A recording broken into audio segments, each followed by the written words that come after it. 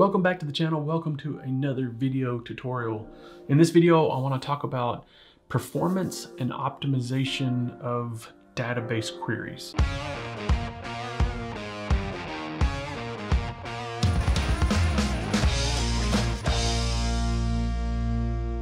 So at IdeaPro, we focus on fast loading websites.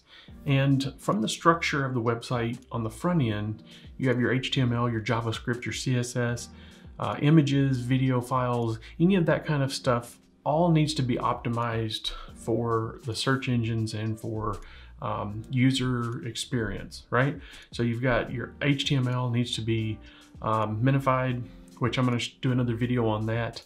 Um, your JavaScript needs to be minified and uh, deferred. Your CSS needs to be minified. There's, there's all kinds of optimizations on the code side that everyone sees, the public side. But there's also optimization on the PHP side of WordPress that you need to be aware of. And I'm gonna show you how to see what's going on with the PHP code as far as the database queries because that's where your site can get really, really slow. And it's absolutely scary sometimes whenever we turn on uh, what I'm gonna show you in just a second on some sites and it's like 80, 90, even 150 sometimes database queries to load one page, all right? So let's get started. I'm gonna show you how to write a little function that will show you how many queries you have. And then we're gonna write another little thing that will show you what queries are actually happening so that you can manage those and, and change those around, all right? So let's get started. So here on our functions.php page, and of course you can write this in a plugin if you would like. Um, I do that, I have a plugin that we put on a lot of our sites that will show us what a site is doing. Um, but we're gonna write it here in the functions.php page. And you can do it as a plugin. If you need to know how to build a plugin, I've made videos about it. I'll link those in the cards in the description. Um, but we're also going to use a function that I've made another video on. It's developing in live mode. So it's important to have to know what that video is and to be able to develop in live mode because we only want to show ourselves, the developers, what's going on with the database queries. We don't want to sh show the rest of the world. So I'll show you that here in just a second. All right. So here at the top of the functions.php file, file, pile, we're going to create a new function, number db queries. Right. All right. So then we're going to add an action here and we're actually going to put this in the WP foot foot footer, WP footer. And we're gonna do number of queries, and that's our callback. So what this basically, this add action, if you haven't watched any of my other videos, or you don't know what this is, add action basically does the first action here, which is the WP footer. So anything you put in here should show up in the footer of your page if your theme is built correctly. So add action is, and we're gonna do WP footer, and then number of DB queries is our function here. It's the callback, right? So we want in the WP footer, we want this function to run, okay? So in the video, in another video I did previous to this video, it's called developing in live um, environment. I'll link it to the card here. It basically shows you how to create a function that's is developer. And basically what that does is anything that you do, you wrap in that in developer function is developer function and it won't be seen to the rest of the public. It'll just be seen to you. Now, if your IP address changes, you have to change that IP address in that function. Uh, I use a VPN for everything that we do, and our VPN IP address doesn't ever change, so I don't ever have to change it, which is a good thing. So if you're not using a VPN, you should for that reason alone. All right, so the first thing we're gonna do is we're gonna say if is, that, that was right, developer. And this is a function that we have um, in our functions.php file already. If is developer, and then we're gonna echo the get number queries. It's that simple. WordPress has already provided us a function that will get the number of database queries, all right? But we can also do go a little bit farther. We can say echo, and then here we can say queries, queries, come on, queries in, um, we want to do timer stop. Echo seconds. Now, basically what this does is it's going to tell us the number of queries in 15 seconds or however long it is. So the reason why that's important is because you need to know how long it's taking to load those queries, all right? So now we have this, we're gonna save this file. We're gonna come over to our live site here, the ideapro.io site, which we use for testing and developing and stuff like that. We're gonna do a refresh and we still have something left over from another page. So let's go to do that. Let's get rid of this. That was that is developer um, video made just a minute ago. We don't want that to show up. All right, so then we're gonna do a refresh here. So now we have 16 queries in, why did it not timer stop? Oh, there we go. All right, so 16 queries in 0.204 seconds. Now, that doesn't mean that's the entire load time of the website. That is the load time of those queries. Now, if you have a bunch of images on your site and all that stuff, it's still gonna give you 0.204 seconds because that's not the overall load time of the entire site. To get the overall load time of the entire site, you need a tool like GTmetrix or um, Google's uh, PageSpeed tool, or you can even do it in JavaScript. But your JavaScript needs to be deferred and you need to make sure that your timer is the last thing that runs in your JavaScript file, right? Um, the tools like GTmetrix show you a real live environment uh, of what's going on. You can also use the Google um, console to show you how long that page is taking to load. And you can even change it if you use the uh, mobile side of it, you can change to see how long that page is gonna take to load if you were on a mobile device, right? And I can do that, I can do another video to show you all that later on. But in this, we're gonna talk about the database queries. So right now we have 16 queries in 2.204 seconds. Now I wanna see what those queries are, all right? So there's two things that we need to do on this to see that is um, sorry, I had a message pop up over here, is in our wp-config.php file, we need to add a, um, a line to our wp-config file, all right? So we're gonna say define, and we're gonna say save queries, true, okay? And so what this is, is it's defining the constant save queries and it's telling it to be true, all right? So with that in there, WordPress knows to save those queries and that way we can export those or display those queries so we can we can see what's going on, all right?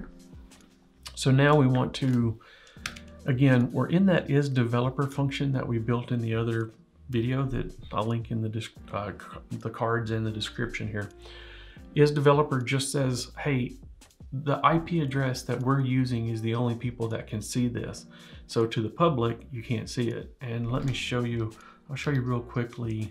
So we can see this here if I turn off my VPN and I refresh the page, now it's gone. And that's why you want the you don't want the public to be able to see see that. So let's turn back on the VPN. All right and it's connected. All right, now we can refresh the page and now we can see our 16 queries in 1.06 seconds. Now, the reason why that's changed, if we refresh again, it's gonna give us a different number, 0.211 seconds. What's important to understand is your server load is gonna matter, right? If you've got a bunch of sites on your server, uh, you're on a shared hosting, that load time is going to differ depending on what the uh, the traffic to the server is or what the server is doing in the background. So if you've got a lot of stuff running on the server, it's going to take longer to load these database queries. So as you refresh the page, you're going to get different query times for each one. But on average, you're going to get pretty much the same on a regular basis until you let it set for a little while or like I disconnected from my VPN and then reconnected it kind of goes oh wait hold on. Oh there it is. Okay. So 0.231 seconds that's a fast loading time. It's two tenths of a second. All right so 16 queries. So now we want to go over here.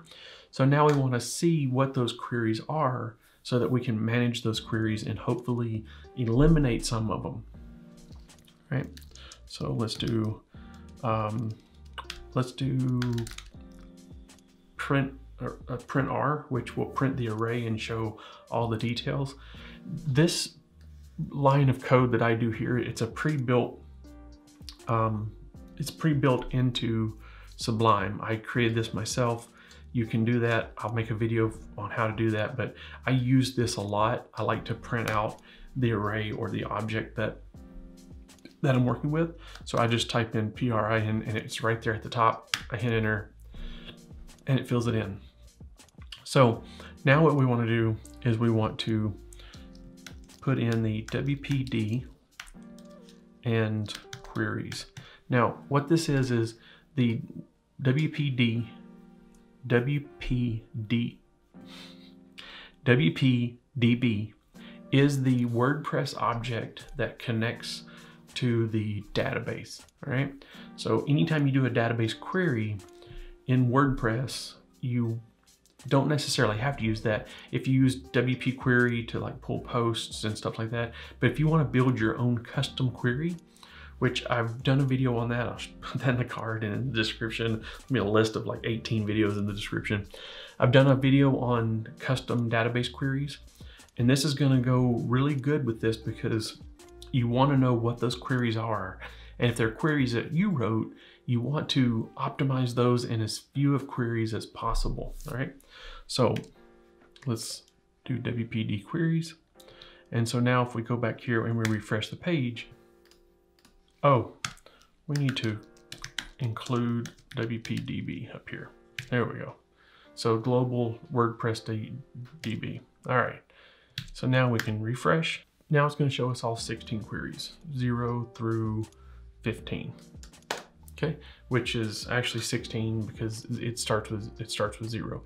So now we can see each individual query and what that query is actually doing. All right.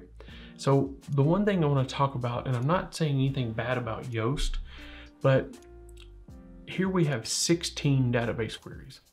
If we go into our plugins we come down here to Yoast and we deactivate Yoast. And we refresh this page. 10 queries.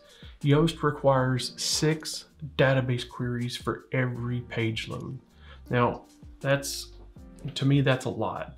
Um, Yoast is important to use for SEO, but I want you to be aware of the number of queries that it uses. The other thing about performance and optimizing your, your database is if you're on a hosting like Amazon Web Services, where you pay for the amount of CPU usage, you want to eliminate as much of that as possible to save you money, to save server resources, and to just make the overall website load faster. So just by turning off Yoast, the Yoast SEO plugin, we've saved six database queries. Now, does the benefits outweigh the, you know, six database queries? For sure, you definitely want to use Yoast SEO plugin, but this gives you an idea of what is running and what you can eliminate. So if you install a plugin and you go, hey, it's taking, you know, 10 queries, and then you install this plugin and now you're up to 40 queries, it's probably not a good plugin to use. So that's re one reason why we build our own plugins. We build custom uh, plugins, we build custom functions, is to eliminate some of this stuff and it makes our sites load a whole lot faster.